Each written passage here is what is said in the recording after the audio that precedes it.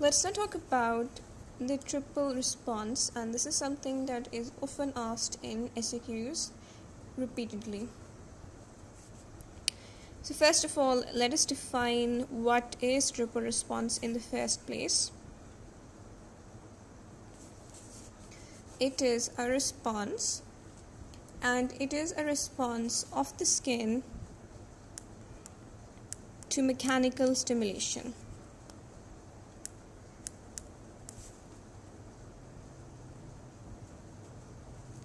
All right. It is a response of the skin to mechanical stimulation right? Um, so let's define the mechanical stimulation. Basically firm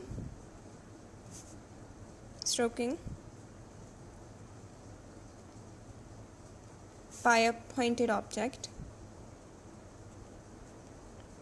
Obviously it doesn't it shouldn't be too sharp but it should be pointed. That is the sort of sort of mechanical stimulation likely to garner the triple response right?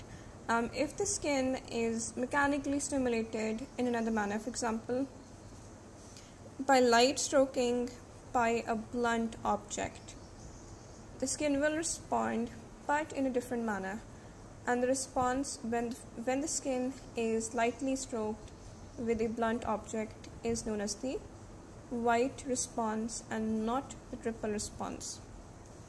So first of all, when, it, when someone asks you what is a triple response, you begin with the triple response is you can use the word reaction. The triple response is a reaction of the skin to mechanical stimulation via firm stroking by a relatively pointed object. Now, this is the complete thing.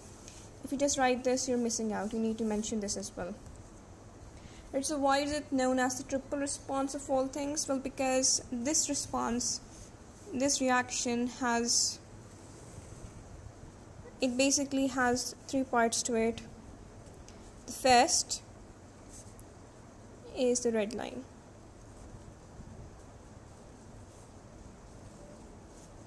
So, when you take um, a relatively sharp object and you firmly stroke a particular part of the skin surface with it, because of that stroking, a red line will appear and when it when will it appear? About 15 seconds after. That particular area of the skin has been firmly stroked with such sharp object so it takes 15 seconds to appear. So it doesn't appear instantaneously and why do we have the appearance of this red line over the area that has been stimulated. Obviously, you're stimulating in a line, you're not stimulating it like this, that would be different. You're using a sharp object, maybe, um, I don't know what, whatever, and you you and you're using it to firmly stroke a person's hand from this point till this point, and 15 seconds after you have firmly stroked in that particular line a red line will appear over the area that has been stroked. Now, this is important and it will take 15 seconds. It won't appear instantaneously. And in that 15 seconds, what are the changes that have been induced by the firm stroking that have led to the appearance of this red line? Right? So, what are the changes? Dilation of precapillary sphincters. So, greater amount of blood flow in that localized area. One important thing is that dilation happens at the level of the precapillary sphincters and not at the level of the arterioles, and this is an important distinction for these responses. Right?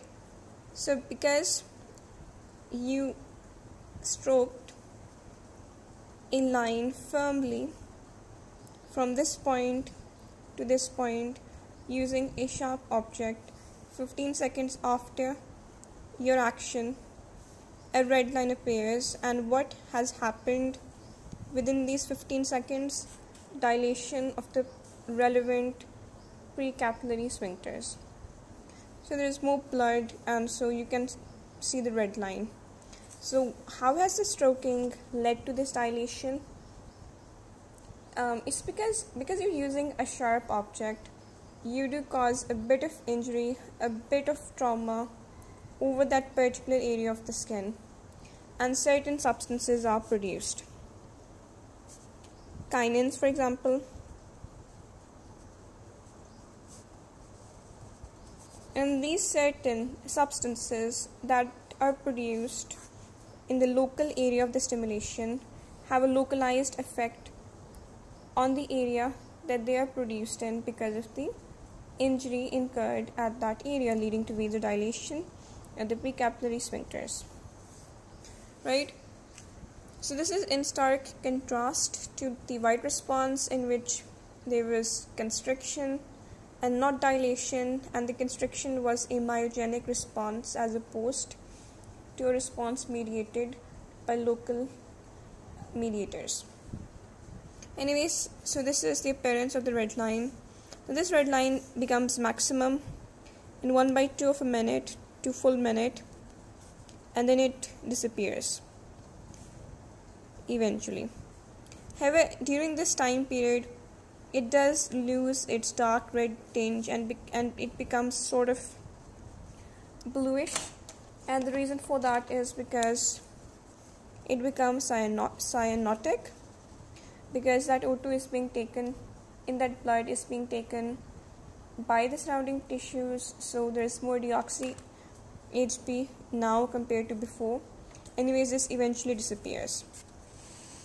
Now if prior to this uh, you were trying to get a triple response from a person whose circulation has been stopped by whatever means so blood is not flowing properly the heart is not pumping and the proper circulation is not present or if a person his um, his nerve fibers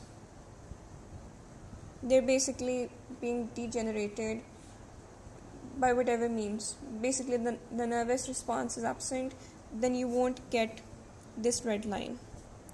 So even though it is because of this the circulation needs to be present. Circulation of blood needs to be happening as normal and innervation needs to be present. If that area is denervated you will not get the red line.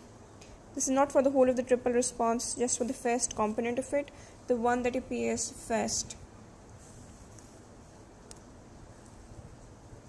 Now if we talk about the other one that is known as the flare Now, the flare tends to appear when you have repeatedly stimulated a particular line over the skin with greater amounts of force. I'll repeat. The flare only appears when you repeatedly stimulate the same line across the skin with increasingly greater amount of force. And what is a flare? You need to be able to define it. It is an irregular zone of redness around the red line. Irregular meaning it isn't of a particular shape or a particular extent each time. It's an irregular zone of redness and this appears around the red line. And this appears after the red line, a few seconds after, and it disappears before the disappearance of the red line. Um, my apologies, I made a mistake over here. Even in the absence of innervation, you do get the red line so it isn't necessary my apologies anyways it is an irregular zone of redness that appears after the red line and disappears before the disappearance of the red line and doesn't necessarily appear now if uh, the part of the area is denervated it will not happen. Or if the circulation is cut off the flare will not appear. Even though the red line might have appeared. So innervation is important to it. And if there's local anesthesia meaning the innervation is uh, temporarily paralyzed you still won't get a flare. All right so these are the important bits about flare. After red line disappears before the red line is an irregular zone of redness um, and it's and the amount of flare is dependent on just how strong your initial stimulus was and the particular arteriolar network around the area that was stimulated. Now, the third response is known as a wheal. Uh, over here, why is um, innervation important? It is believed because the, fl- the flare is a result of antidromic response of the sensory nerve endings in the area. Antidromic is when it's against the normal direction of nervous impulses.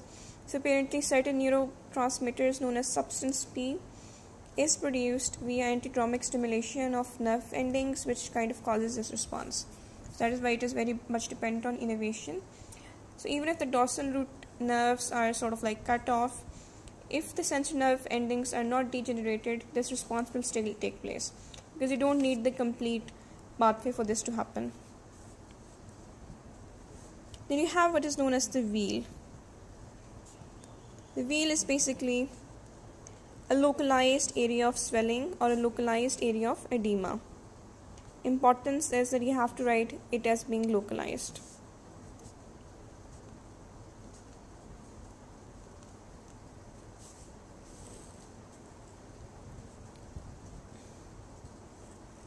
So it gradually increases, eventually, it obscures the red line. Uh, in about 3 to 5 minutes, it is maximum. Then it disappears. And it the reason for that is an increased capillary permeability. Right? And to prove that if you sort of like inject someone with a collo- col- dyed colloidal substance you can see that in the area of swelling. So that is suggestive that the capillary permeability has indeed increased. I'm hoping this is helpful. If it was please like subscribe and leave a comment